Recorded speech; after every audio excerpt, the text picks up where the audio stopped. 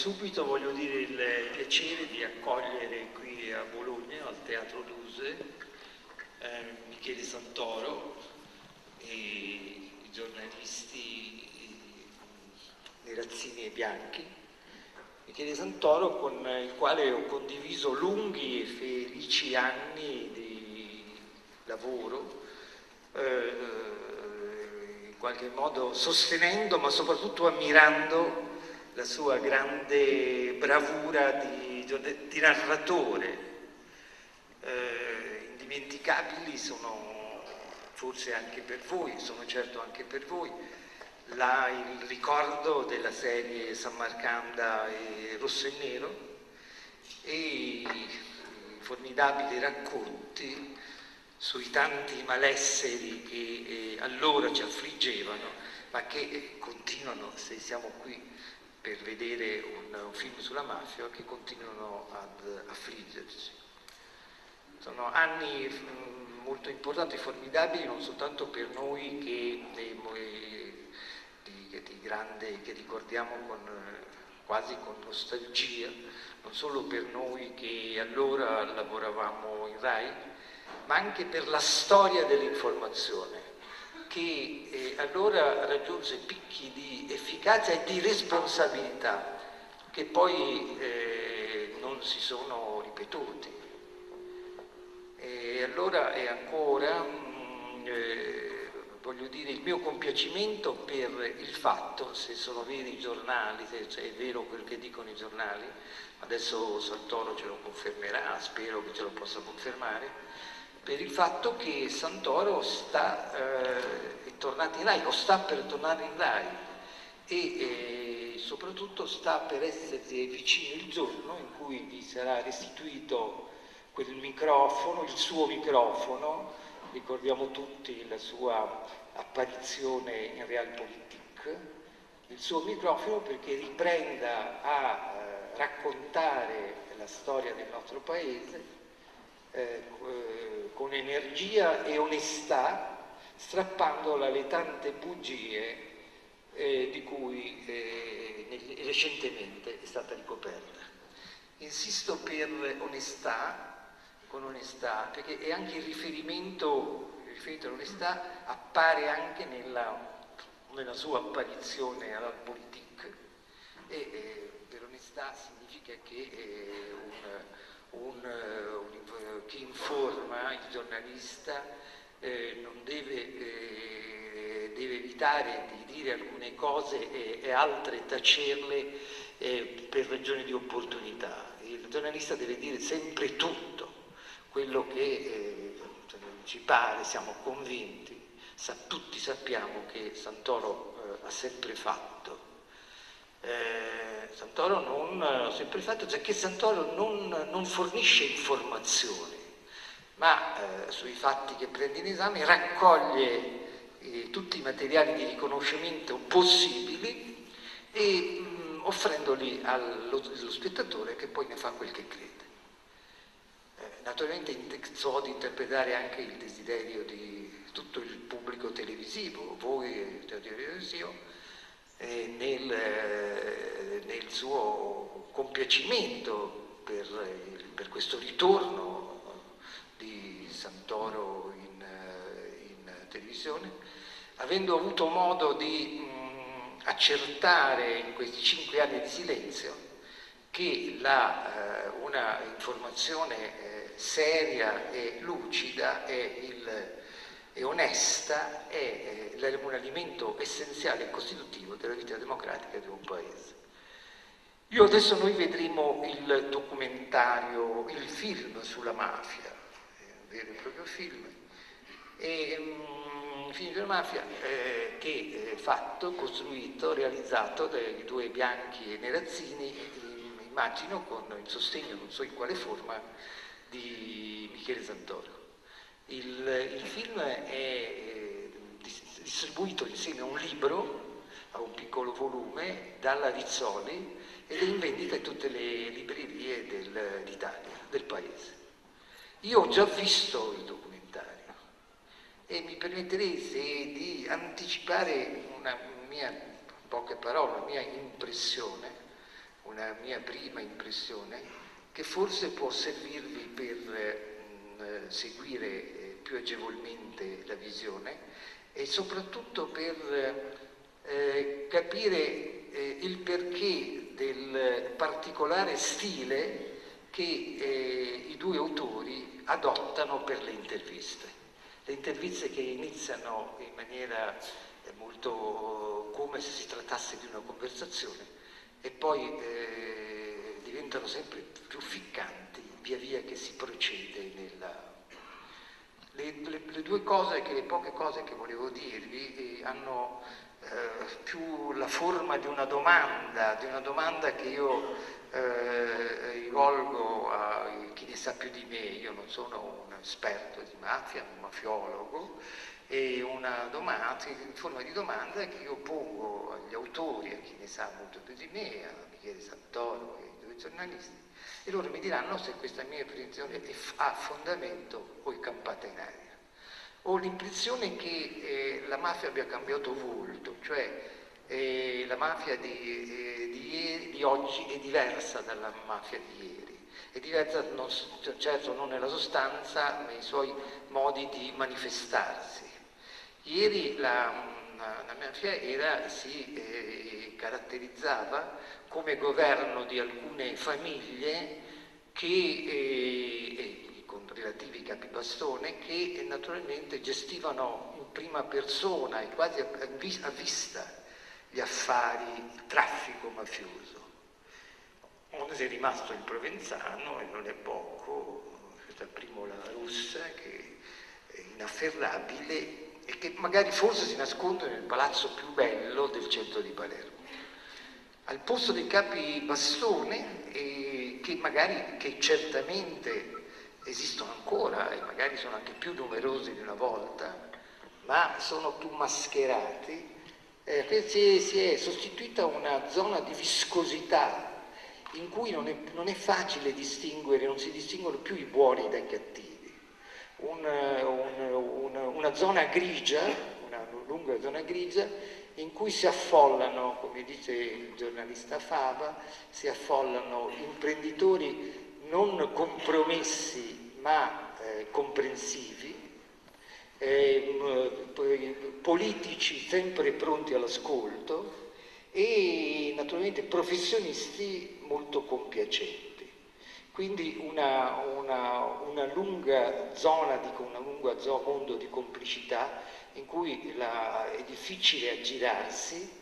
e soprattutto è difficile per la magistratura pare di capire, mettere a fuoco, mettere a fuoco con certezza di prove le, il, il, eh, gli atti, le responsabilità di coloro che compiono atti mafiosi. Eh, l'ultima trovata della mafia è quella, di, eh, quella che io chiamo quella di interrarsi, cioè di avvolgere in una melassa, in una grande marmellata, l'intera area in cui operano.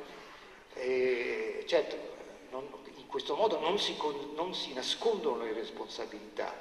non si nascondono, rimangono evidenti, però diventa difficile seguirne il filo, individuarne i fili che a un certo punto si frastagliano e sfumano nell'indistinto. È così che eh, Cuffaro, Cuffaro, presidente del pur eh, sospettato, e i sospetti sono confermati da intercettazioni, come vedremo, che di eh, aiutare il, eh, gli uomini di, di, di Provenzano e, e, sono comunque confermati, eppur essendo oggetto di un, eh, di un, eh, di un sai, accusato di favoreggiamento mafioso, è stato rinviato a giudizio per il tenuto, oppure continua bellamente a ridere, come vedremo, eccetera, e a, eh, non solo a rimanere al suo posto, ma a presentarsi e a decidere di presentarsi anche per le prossime elezioni. Ecco, eh, questo è. Eh, prima di vedere, prima di vedere, di iniziare a vedere il film, voglio chiedere a, eh, a Michele Santoro intanto se questa mia impressione, poi magari se voi lo riterrete opportuno, anche dopo il film, adesso vedremo Eh, in genere dopo nelle, mi, mi, dicono che, nel, che, alla fine del film, insomma, il film è l'ultimo atto dell'incontro di Santoro e gli altri con il pubblico. Però adesso vedremo se invece voi sarete di parere contrario potremo andare avanti. Intanto adesso voglio rivolgermi a Michele Santoro e dirgli se mh, quello che l'impressione eh, che io ho avuto corrisponde a una qualche corrisponde, vedevo che fossi qua, qua, che corrisponde a un qualche, a un qualche fondamento. La mia, ho imparato da parecchio che è meglio essere universali mobile, insomma, non stare, non stare molto fermo ad aspettare i colpi. Comunque, ehm, noi preferiamo fare così, di dire poche cose all'inizio e poi lasciare a voi tutte le considerazioni che il film propone. Innanzitutto risponderemo quindi insieme alla tua eh, domanda. Volevo innanzitutto presentarvi eh, Alberto Renazzini e Stefano Bianchi, ai quali innanzitutto io consegno il merito di avermi eh, riconquistato alla, alla, alla causa nella quale credo più profondamente, cioè mi hanno fatto comprendere che mh, è inutile cercare scorciatoie per quanto riguarda la libertà di espressione, la libertà di espressione va conquistata sul campo e va conquistata con il nostro lavoro di autori e di giornalisti. Io seguendo diciamo, la loro fatica dentro una camera di montaggio ho potuto comprendere che quella è la mia vita, che non ci sono altre vite oltre, oltre quella che possono coinvolgermi e interessarmi. E lì io mi esprimo anche dal punto di vista politico, perché un autore è anche un soggetto politico, è un soggetto sociale, è una persona complessa che può manifestare le sue idee e soprattutto può funzionare come terminale per il suo pubblico, perché se un autore è un vero autore corrisponde sempre ad un pubblico e un autore che sta zitto è, è, è come se condannasse al silenzio anche il suo pubblico. Ecco. Quindi io do eh, il merito a questi due eh, giovani colleghi di avermi riportato sulla mia strada maestra, però vorrei che fossero loro a intanto introdurre questo, dopo io potrò rispondere e completare insomma, una risposta che ovviamente la domanda di Guglielmi merita, che è una domanda molto importante. Chi comincia? Alberto Ranazzini? No, eh, Guglielmi non è un mafiologo, ma ha toccato il problema, cioè ha parlato di interramento quando si parla appunto di una mafia che si è inabissata e di una mafia che, che si è anche ripulita, cioè una mafia che non è più l'iconografia classica del, della coppola e della lupara, insomma noi, noi l'abbiamo raccontata col film che, che adesso vedrete piccole cose perché poi il protagonista appunto, è appunto la nostra inchiesta eh, sia sul libro ma soprattutto sul film Ehm, c'è un personaggio, Salvatore Aragona, che, che, è un personaggio molto importante in questa vicenda, che coinvolge in maniera devastante il presidente della, della regione Sicilia, Cuffaro. E questo personaggio ha già una condanna definitiva per mafia, cioè si è fatto il primo grado, si è fatto l'appello e è dato anche in Cassazione, condannato per aver manomesso una cartella clinica, la cartella clinica di un Brusca, Enzo Salvatore Brusca.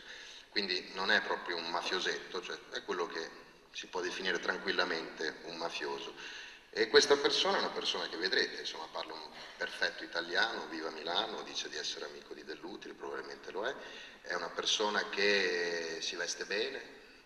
in abito blu e camicia bianca, è uno proprio che sembra un, un professionista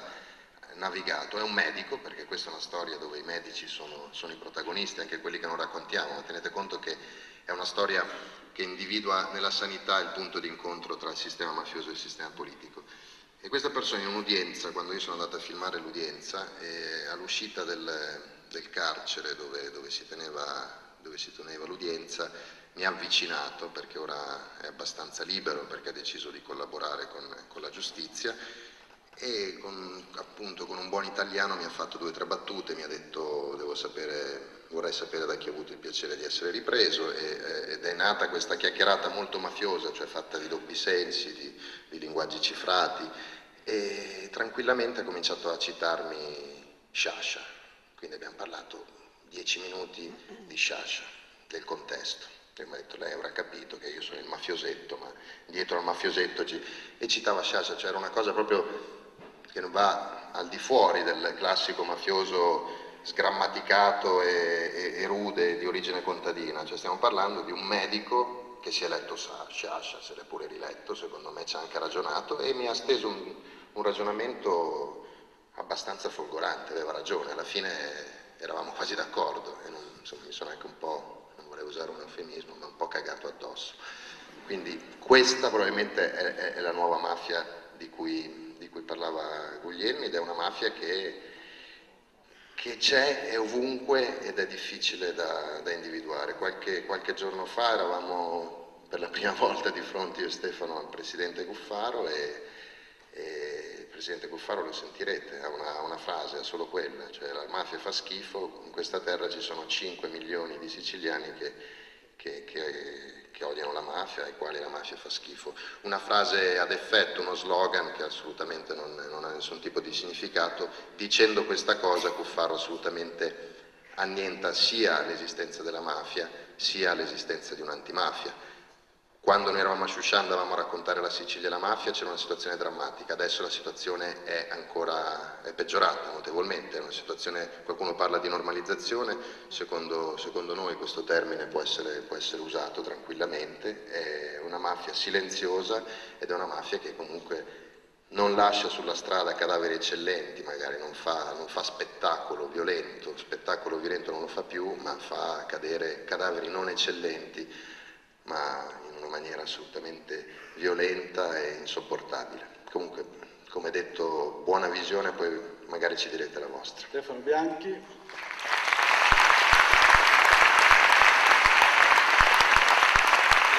sarò, sarò brevissimo, eh, vi, vi, vi, passo una sensazione e poi un,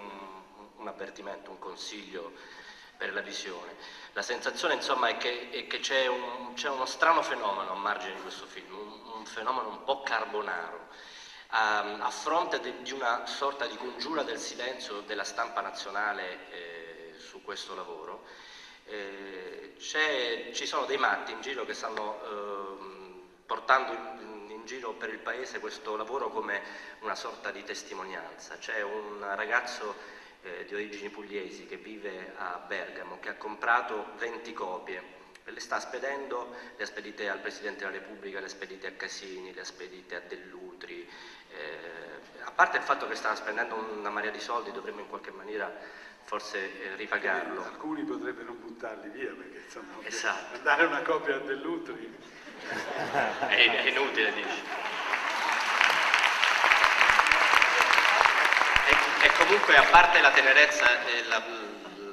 l'amore per questo personaggio che ci sta tempestando anche di mail, di telefonate. C'è questo, c'è questo, fatto, fenomeno carbonaro, la gente sta passando questo lavoro come una testimonianza per, per rompere questo muro di silenzio che c'è intorno a questo lavoro e questo è una cosa che ci, eh, che ci inorgoglisce. Ehm, l'altra, l'altra, cosa è una raccomandazione brevissima, guardate questo lavoro, l'ho già detto in altre occasioni, guardate questo lavoro come un film, un po' come i film degli anni 70 di cinema di impegno civile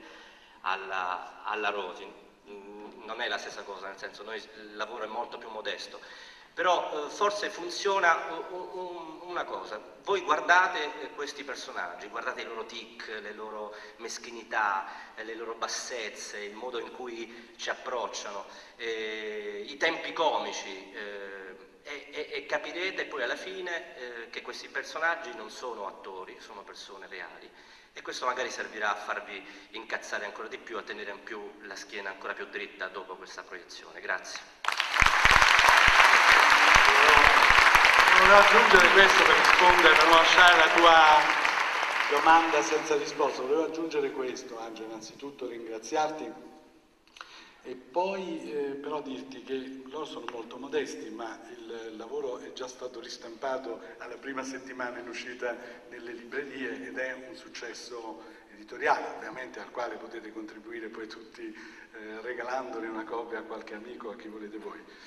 Mm, però questo è un lavoro sul dopo Berlusconi, è un lavoro che guarda al dopo Berlusconi, è un lavoro che parte dalla convinzione che in fondo Berlusconi è da considerarsi un po' una pandemia del sistema diciamo, economico, sociale e politico italiano, cioè il risultato, una deformazione che è il risultato delle debolezze del nostro sistema democratico e anche del nostro sistema economico e sociale. Direi anche il risultato di una debolezza morale. E, ehm, per cui quando Berlusconi, come noi ci auguriamo, diciamo, passerà a fare delle cose diverse, farà altre cose insomma, nella vita, eh, tuttavia rimarrà il problema di risanare un paese che ha prodotto un fenomeno di questo tipo. La prima cosa dalla quale dobbiamo partire è il fatto che ci stanno abituando ad un basso regime di informazione, per cui le trasmissioni che facevamo noi al tempo di Angelo Guglielmi ma anche alcune puntate di processo in pretura, per esempio, che raccontavano Tangentopoli, oggi sarebbero non trasmettibili. E badate bene, sarebbero non trasmettibili perché il pubblico è stato abituato ad un basso regime di informazione. Per cui, diciamo, quando vedesse alcune cose come quelle che facevamo noi nella televisione di oggi, perfino il pubblico, chiamiamolo così, più sensibile, più democratico, oh, ma qui stanno esagerando, qui stanno facendo vedere delle cose. Ora, che cos'è il regime che si è venuto a costituire in Italia? È correttamente quello che Travaglio chiama un recinto un recinto, un sistema di palizzate, non è che quelli che sono rimasti dentro non siano onesti o non facciano il lavoro con l'onestà con la quale facevamo noi, fanno, lo fanno, cercano di fare del loro meglio. Ci sono tanti esempi di buon giornalismo attualmente attivi nella televisione pubblica e alcuni esempi di buona televisione anche dentro Mediaset. Il vero problema però è che esiste questo recinto, esiste una palizzata contro la quale si infrangono i temi scomodi. E il tema più scomodo di tutti, il tema più tabù, e lo si vede da come reagisce la stampa italiana su questo lavoro, perché guarda, non si può guardare questo film e rimanere indifferenti e non dire niente e non chiedere a Casini ma come cavolo fai? Ma come cavolo fai a non dire una parola? Sta girando sta roba nelle librerie, sta girando nei cinema, a Palermo c'erano 2000 persone e nessuno parla, tutti tacciono nessuno chiede conto agli altri. Allora, guardate bene, qui si vede un signore che a prescindere dalle vicende giudiziarie è andato a chiedere i voti ad Angelo Sino e ammette di averli chiesti questi voti ad Angelo Sino. Ora, la Corte di Cassazione italiana, prendo solo un altro minuto, ho finito, ha recentemente elaborato delle sentenze che dicono che non basta con un politico frequenti dei mafiosi per indicare che questo politico abbia compiuto dei reati. La semplice frequentazione non è sufficiente. Io trovo che, questa, che queste sentenze sono, voglio dire, una visione estremamente garantista no? Della, de, per quanto riguarda la conduzione della vita politica e sociale, che in qualche maniera libera anche i magistrati dal compito di stabilire che cosa è moralmente corretto e che cosa non è moralmente corretto. Cioè non è compito della magistratura, la magistratura deve identificare dei reati. Ma se non è compito della magistratura, la politica può nascondere la testa nella sabbia e fare come fa lo struzzo? Questo è il problema di fondo che nasce dalla visione di questo film. Cioè se io ho chiesto i voti a Sino e Sino è il ministro dei lavori pubblici di Cosa Nostra, ovvero è uno degli uomini più importanti accanto a Tutori Ina. Questo signore, questo signore che è andato a chiedere i voti a Sino ha avuto come conseguenza che Sino organizza una riunione elettorale e chi chiama in questa riunione elettorale i killer di Falcone, i killer di Borsellino. Ragazzi, lui non sapeva chi era quando gli ha chiesto i voti, facciamo finta di credergli, anzi crediamogli, senza far finta però poi dopo a un certo punto l'ha scoperto chi era. E allora quando l'ha scoperto vuole essere conseguente. La domanda è in quale paese del mondo, in quale Francia, in quale Germania, in quale Inghilterra, in quale Stati Uniti sarebbe possibile una cosa del genere che uno ha chiesto i voti ad Al Capone, non sapeva chi era, poi si scopre che era Al Capone e lui non si dimette e non lascia la sua carica e nessuno fa scoppiare un caso su questa, su questa questione. Ecco il punto fondamentale. L'ultimissima vera considerazione è questa qui. Sentirete alcuni siciliani dire che la Sicilia non starebbe meglio se non ci fosse la mafia. Bisogna interpretare queste parole perché contengono, a mio, a mio parere, una verità. Cioè nel senso che la mafia non è la causa di tutti i problemi che ci sono in Sicilia. Cioè, voglio dire, questi problemi sono generati da un sistema sbagliato. Il sistema che permette alla politica di interferire con la nomina dei primari è un sistema che c'è in Lombardia, che c'è in Emilia Romagna, che c'è in Campania, che c'è dovunque. Quindi, da un certo punto di vista, la mafia è una forza che si inserisce nelle debolezze del sistema e ne approfitta ne approfitta perché si organizza in potere, si organizza in potere capace di interferire sulle vicende, sulle vicende politiche. Ora noi vogliamo costruire un nuovo ordine sociale, come diceva il nostro maestro Gramsci, un nuovo ordine economico e sociale. Bene, non possiamo farlo solo avendo una strategia che punta a ricostruire la legalità soltanto dal punto di vista, diciamo così, militare. Cioè se noi vogliamo mettere in mano un processo di, che veramente ristabilisca una legalità consapevole nella quale tutti quanti ci possiamo riconoscere, dobbiamo riformare la società. Cioè non ci può essere riordino sociale di una società soltanto sotto il profilo militare. A mio parere c'è sempre bisogno di giustizia, di giustizia sociale e c'è sempre bisogno di mettere al primo posto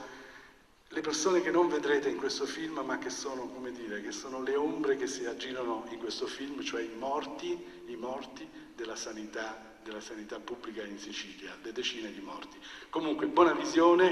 e vi lascio la visione di questo film.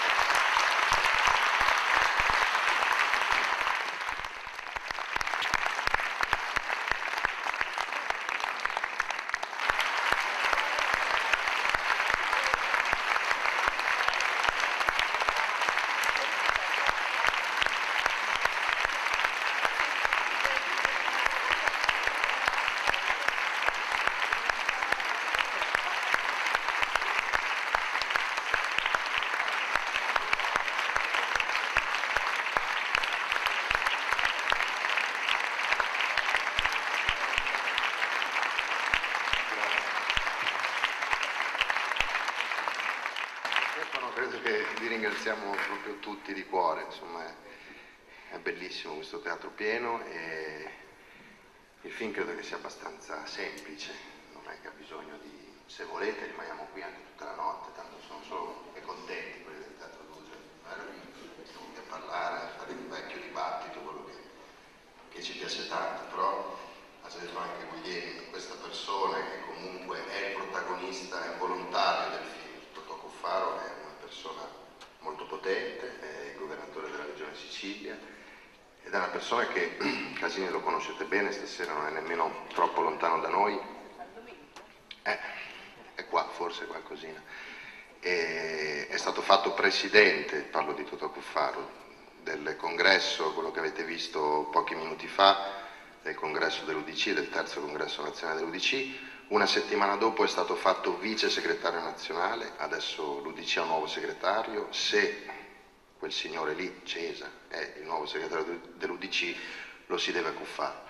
ed è sotto processo per favoreggiamento aggravato dall'articolo 7, cioè è accusato di aver favorito gli interessi di Cosa Nostra. Noi non abbiamo fatto altro che raccontare una storia, di fotografare una, una storia, non abbiamo come magari sostiene lui, agito di tagli, incolla, insomma questa espressione abbastanza colorita e, e sfortunata secondo me. Comunque noi abbiamo raccontato una storia ed è il candidato, molto probabilmente sarà il candidato di nuovo per, per il posto del Presidente alla Regione Sicilia. Se volete rimaniamo qua, noi siamo contenti e vi ringraziamo di cuore, grazie veramente.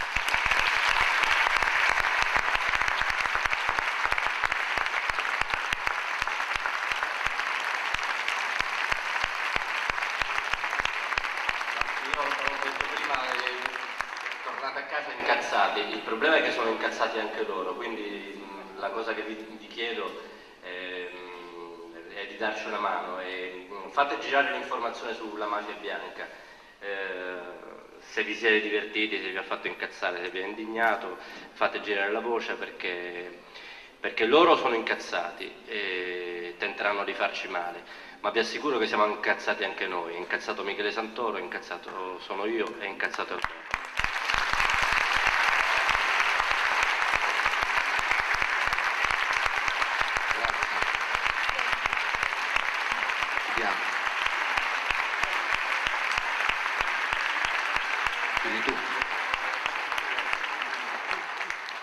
Grazie anche a Guglielmi, alla Cineteca di Bologna, a tutti quelli che hanno veramente, cioè noi stiamo girando un po' l'Italia, ma qui a Bologna è stato tutto molto bello, grazie di cuore.